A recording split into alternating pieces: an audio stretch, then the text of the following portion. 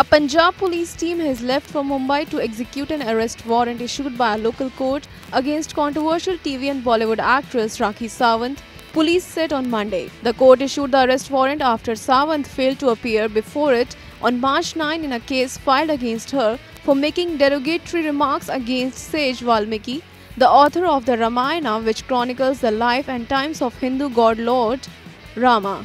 The complainants had accused Sawant of hurting religious sentiments of the Valmiki community by her remarks on a TV show. The case will be next heard on April 10. IANS report.